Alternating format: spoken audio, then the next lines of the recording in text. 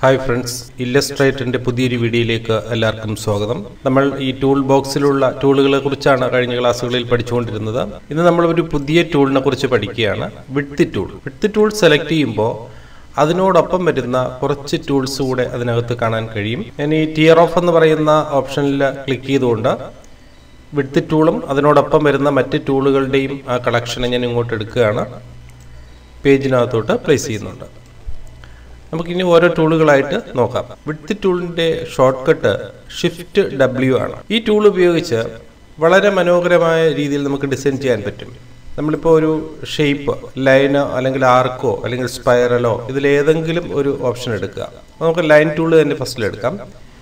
ഇപ്പോൾ ഞാൻ shift press ചെയ്തുകൊണ്ട് ഇവിടെ ഒരു ലൈൻ സ്ട്രൈറ്റ് ലൈൻ വരയ്ക്കുകയാണ്.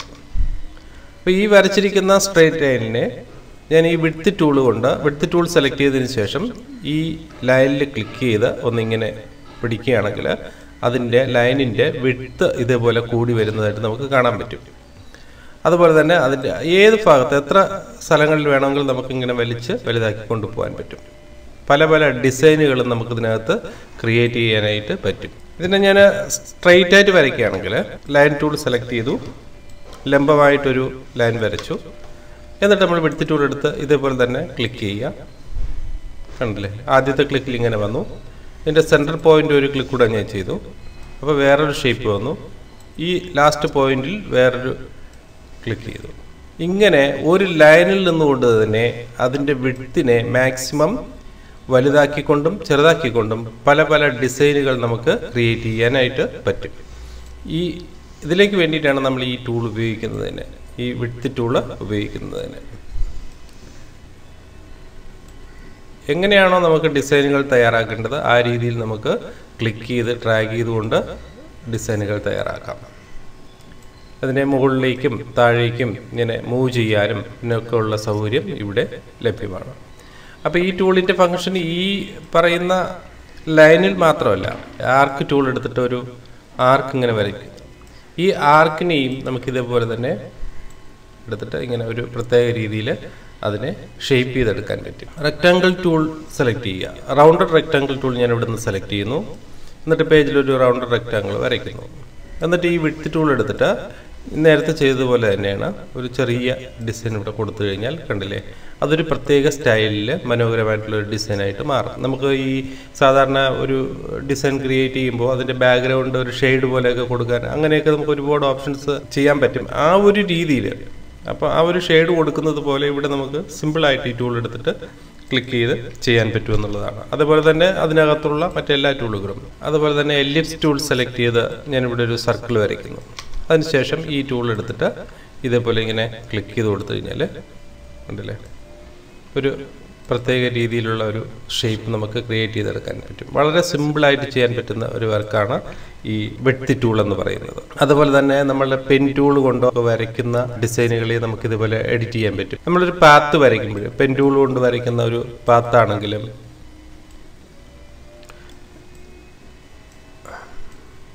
ഇങ്ങനെ ഞാനൊരു പാത്ത് വരച്ചു. അപ്പോൾ ഈ പാത്തിനെയും എനിക്ക് എഡിറ്റ് ചെയ്യണമെന്നുണ്ടെങ്കിൽ ഇവിടെ ടൂൾ എടുക്കുക ജസ്റ്റ് ഈ ലൈനിൽ ഒന്ന് ക്ലിക്ക് ചെയ്യുക അങ്ങനെ എഡിറ്റ് ചെയ്യുക. മറ്റുള്ള സോഫ്റ്റ്വെയറിലൊക്കെ ഇത് ഇങ്ങനെ ഡിസൈൻ ചെയ്ത് കൊണ്ടുവരണം. സ്റ്റാർട്ടിങ്ങിൽ തിന്നായിട്ടും സെൻട്രൽ പോയിന്റ് വരുമ്പോൾ കുറച്ച് തിക്കായിട്ടും പിന്നെ വീണ്ടും തിന്നായിട്ടും ഒക്കെ ആ ഒരു സ്റ്റൈലിൽ നമ്മൾ ക്രിയേറ്റ് ചെയ്തെടുക്കേണ്ടതുണ്ട്. പക്ഷേ ഇവിടെ അതിന്റെ ആവശ്യമില്ല. വിട്ടൂൾ ഉണ്ടെങ്കിൽ വളരെ എളുപ്പം നമുക്ക് ഒറ്റ ക്ലിക്കിൽ തന്നെ ഈ ഡിസൈൻ നമുക്ക് തയ്യാറാക്കി എടുക്കാൻ പറ്റും. ഇതാണ് ഈ ടൂളിന്റെ പ്രത്യേകത. അതിന്റെ തൊട്ടടുത്തായി കാണുന്ന മറ്റൊരു ടൂളാണ് വാർപ്പ് ടൂൾ.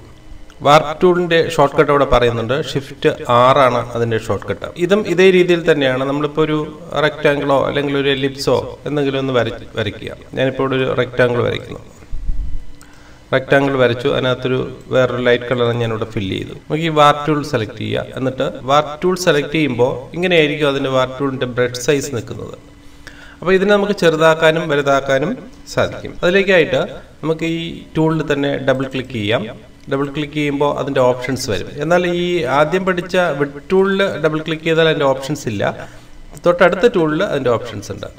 ഈ വാർ ടൂളിന് അതിന്റെ ഓപ്ഷൻസ് ഉണ്ട്. അതുപോലെ തന്നെ അതിന്റെ വിഡ്ത്ത് ഹൈറ്റ് ആംഗിൾ ഇന്റൻസിറ്റി ഇതെല്ലാം നമുക്ക് ഇവിടുന്ന് അഡ്ജസ്റ്റ് ചെയ്യാൻ പറ്റും. അതുപോലെ ഡീറ്റെയിൽ സിംപ്ലിഫൈ ഇതെല്ലാം ഓപ്ഷൻസ് എല്ലാം ഇവിടെ കൊടുത്തിട്ടുണ്ട്. നമുക്ക് ഇവിടെ ഇതിന്റെ വിഡ്ത്ത് ഇപ്പോൾ ഹൺഡ്രഡ് ആണ് നിൽക്കുന്നത്.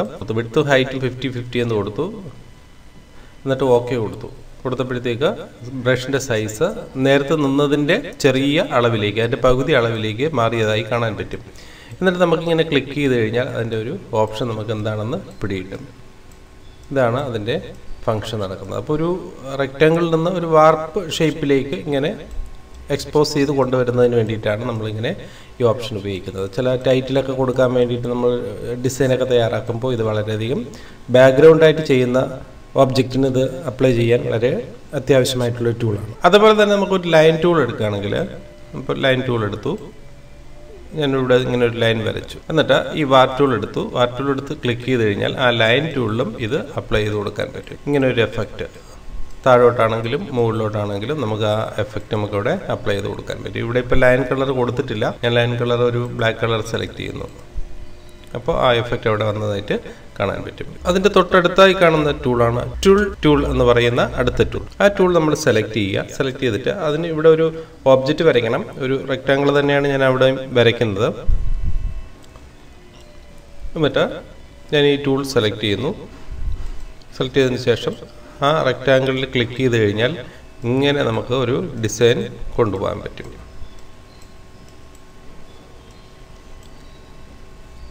ക്ലിക്ക് ചെയ്ത് പിടിക്കുകയാണെങ്കിൽ ഇങ്ങനെ അതിന്റെ പല ഡിസൈനുകളിലേക്ക് നമുക്കിതിനെ കൊണ്ടുപോകാൻ പറ്റും.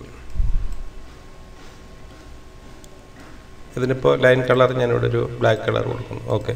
കൊടുത്തിട്ടുണ്ട്. അപ്പോൾ ഇങ്ങനെയൊക്കെയുള്ള ഡിസൈനുകൾ നമുക്ക് തയ്യാറാക്കി ഇതിനൊരു ബാക്ക്ഗ്രൗണ്ട് കളറൊക്കെ കൊടുത്തിട്ട് നമുക്കിതിനെ ക്രിയേറ്റ് ചെയ്തെടുക്കാൻ പറ്റും.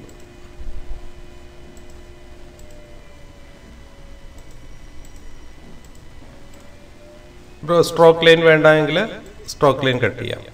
സ്ട്രോക്ക് ലൈൻ കട്ട് ചെയ്താലും ഒരു രസമായിട്ടുള്ള ബാക്ക്ഗ്രൗണ്ടുകൾ നമുക്ക് ക്രിയേറ്റ് ചെയ്യാൻ ഇത് ഈ ടൂൾ ഉപയോഗിച്ച് ചെയ്യാവുന്നതാണ്. അതുപോലെ തന്നെ ലൈൻ ടൂളിൽ ഇത് അപ്ലൈ ചെയ്ത് കൊടുക്കാം. ലൈൻ ടൂൾ വരയ്ക്കുക ഈ ട്വൽ ടൂൾ എടുക്കുക എടുത്തതിന് ശേഷം കണ്ടല്ലേ? ക്ലിക്ക് ചെയ്ത് പിടിക്കുമ്പോൾ അത് എന്തൊക്കെ സംഭവിക്കുന്നു എന്ന് നോക്കാം. നമുക്ക് ഒരു പ്രത്യേക രീതിയിൽ ഡിസൈനുകൾ തയ്യാറാക്കാൻ വേണ്ടിയിട്ട് നമുക്ക് ഈ ടൂൾ ഉപയോഗിക്കാം. അപ്പോൾ ഇതേപോലെയുള്ള ഒബ്ജക്റ്റുകൾ വരയ്ക്കാൻ വേണ്ടിയിട്ടാണ് നമ്മൾ ടിൽ ടൂൾ ഉപയോഗിക്കുന്നത്. അടുത്ത ടൂൾ എന്ന് പറയുന്നത് പക്കറ്റ് ടൂളാണ് പക്ക ടൂൾ ഉപയോഗിക്കുന്നത്. നേരത്തെ വരച്ച റെക്ടാങ്കിൾ വീണ്ടും വരയ്ക്കുന്നു. നേരത്തെ കണ്ട ഫംഗ്ഷന്റെ മറ്റൊരു ടൈപ്പാണ് ഏതാണ്ട് എല്ലാം ഒരേപോലെ തന്നെയാണ്. ചെറിയ ചെറിയ വ്യത്യാസങ്ങളേ ഉള്ളൂ. ഇങ്ങനെ തന്നെയാണ്. നമ്മൾ നേരത്തെ കണ്ടതുപോലെ തന്നെയാണ്. പക്ഷെ കുറച്ചുകൂടെ ഡെപ്ത് കൂടുതലായിട്ട് നമുക്കിതിനെ അകത്തോട്ടും അതുപോലെ തന്നെ പുറത്തോട്ടും വരയ്ക്കാൻ പറ്റും. ക്ലിക്ക് ചെയ്ത് പിടിക്കുകയാണെങ്കിൽ ക്ലിക്ക് ചെയ്ത് പിടിച്ചുകൊണ്ട് ഇങ്ങനെ നമുക്കതിന്റെ ഷേപ്പിൽ മാറ്റം വരുത്താൻ പറ്റും. എനിക്കിപ്പോൾ ഈ ഷേപ്പിന് ഇങ്ങോട്ട് കൊണ്ടുവരണമെങ്കിൽ അല്ലെങ്കിൽ ഈ ഷേപ്പിനെ കുറച്ചുകൂടെ താഴേക്ക് കൊണ്ടുവരണമെങ്കിൽ ഇങ്ങനെയൊക്കെയുള്ള ഓപ്ഷൻസിന് നമുക്കിത് ടൂൾ ഉപയോഗിക്കാവുന്നത് ഏതാണ്ട് ഒരേപോലെ തന്നെയാണ് അതിന്റെ ഫങ്ഷൻസ് കാണുന്നത്. ചെറിയ ചെറിയ വ്യത്യാസങ്ങൾ മാത്രമേ ടൂളുകളിൽ ഉള്ളൂ. അതിന്റെ തൊട്ടടുത്തായി കാണുന്നത് ബ്ലോട്ട് ടൂളാണ് ബ്ലോട്ട് ടൂൾ എന്താണെന്ന് നോക്കാൻ വേണ്ടിയിട്ട് ഞാൻ ഒരു റെക്റ്റാങ്കിൾ സെലക്ട് ചെയ്യുന്നു. എന്നിട്ട് ഈ ബ്ലോട്ട് ടൂൾ സെലക്ട് ചെയ്യുക. ബ്ലോട്ട് ടൂളിന്റെ ഫംഗ്ഷൻ എന്ന് പറയുന്നത് നമ്മളിങ്ങനെ ക്ലിക്ക് ചെയ്ത് കഴിഞ്ഞാൽ ബ്രഷ് സൈസ് ഒന്ന് അല്പം കൂടെ കൂട്ടാം. ഓപ്ഷൻസ് ക്ലിക്ക് ചെയ്തിട്ട് ഞാൻ നേരത്തെ ഉണ്ടായിരുന്ന നൂറ് എന്ന അളവിലേക്ക് മാറുന്നു. വിട്ടും ഹൈറ്റും നൂറ് എന്ന അളവിലേക്ക് മാറുക. ഓക്കെ കൊടുത്തു. എന്നിട്ട് ഇങ്ങനെ ക്ലിക്ക് ചെയ്ത് പിടിച്ചു കഴിഞ്ഞാൽ ഇങ്ങനെ ഒരു സിമ്പിൾ നമുക്ക് ഇവിടെ കിട്ടുന്നതാണ്. നമുക്ക് ചില ഡിസൈനൊക്കെ തയ്യാറാക്കാൻ വേണ്ടിയിട്ട് പകുതിയിൽ വെച്ചിട്ട് ഇതിന്റെ ബ്രഷ് സൈസിന്റെ പകുതി ഇങ്ങനെ കൊണ്ട് നിർത്തി ലൈനിൽ നിർത്തിയതിന് ശേഷം ഇങ്ങനെ ക്ലിക്ക് ചെയ്ത് കഴിഞ്ഞാൽ അത് മുകളിലേക്കും അതുപോലെ താഴേക്കും എക്സ്പോസ് ചെയ്ത് വരുന്നതാണ്. ഇതാണ് ഈ ടൂളിന്റെ ഫംഗ്ഷൻ എന്ന് പറയുന്നത്. ഇത് ലൈൻ ടൂളിലും നമുക്ക് അപ്ലൈ ചെയ്ത് കൊടുക്കാം. ലൈൻ ടൂൾ എന്ന് പറയുന്നത് ലൈനിനോടൊപ്പം വരുന്ന ആർക്ക് ടൂൾ എല്ലാത്തിലും ഇത് അപ്ലൈ ചെയ്ത് കൊടുക്കാം. ഞാനിപ്പോൾ ഒരു ആർക്ക് ഇവിടെ ഇങ്ങനെ വരയ്ക്കുകയാണ്. വരച്ചിട്ട് ഈ ടൂൾ എടുക്കുന്നു. ഈ ബ്ലോട്ട് ടൂൾ എടുക്കുന്നു. എടുത്തിട്ട് ഇങ്ങനെ ക്ലിക്ക് ചെയ്യുന്നു. അപ്പോൾ ഇങ്ങനെ ഒരു എഫക്റ്റ് നമുക്കിപ്പോൾ ആവശ്യമാണെങ്കിൽ നമുക്ക് കൊടുക്കാനായിട്ട് പറ്റും. ഇതാണ് ഈ ടൂളിന്റെ മറ്റൊരു പ്രത്യേകത. അടുത്ത അടുത്ത ടൂൾ പറയുന്നത് സ്കാലോപ്പ് ടൂളാണ് സ്കാലോപ്പ് ടൂൾ നമ്മൾ നേരത്തെ കണ്ടതുപോലെ തന്നെ ഒരു റെക്റ്റാങ്കിൾ എടുക്കുന്നു. സ്കാലോപ്പ് ടൂൾ സെലക്ട് ചെയ്യുക. എന്നിട്ടിങ്ങനെ ഇതിവിടെ ഇങ്ങനെ ക്ലിക്ക് ചെയ്ത് ക്ലിക്ക് ചെയ്ത് വളരെ തിന്നായിട്ടുള്ള ലൈൻസ് നമുക്ക് ഇതിനകത്ത് നിന്ന് കിട്ടും. ഈ മുടിനാരിയുടെ പോലെ വളരെ തിന്നായിട്ടുള്ള ലൈൻസ് ഇതിനകത്ത് നിന്ന് കിട്ടുന്നതാണ്. അകത്തേക്കായിരുന്നാലും പുറത്തേക്കായിരുന്നാലും. ഇനി സെലക്ഷൻ മാറ്റി നോക്കാം. ഞാൻ സൂം ചെയ്യാം കുറച്ചുകൂടെ. സൂം ചെയ്തപ്പോൾ വളരെ തിന്നായിട്ടുള്ള ലൈൻസ് നമുക്ക് കുറച്ച് കൂടുതൽ കിട്ടുന്നതാണ്. നമുക്ക് ഡിസൈൻ ചെയ്യുമ്പോൾ ബോർഡറൊക്കെ ക്രിയേറ്റ് ചെയ്യുന്നതിന് വളരെ പ്രധാനപ്പെട്ട ഒരു ടൂളാണ് തൊട്ടടുത്ത് കാണുന്ന ടൂൾ ക്രിസ്റ്റലൈസ് ടൂളാണ് ക്രിസ്റ്റലൈസ് ടൂളിന്റെ ഫംഗ്ഷൻ മനസ്സിലാക്കാൻ വേണ്ടിയിട്ട് ഞാൻ ഇവിടെ ഒരു റെക്റ്റാങ്കിൾ തന്നെ വരയ്ക്കുന്നു. എന്നിട്ട് ആ ടൂൾ സെലക്ട് ചെയ്യുക. സെലക്ട് ചെയ്തിട്ട് നേരത്തെ നമ്മൾ കണ്ടതിൽ നിന്ന് കുറച്ചുകൂടെ വ്യത്യസ്തമായിട്ടുള്ള ഒരു രീതിയിൽ ഇത് ഡിസൈൻ ചെയ്യാൻ പറ്റും.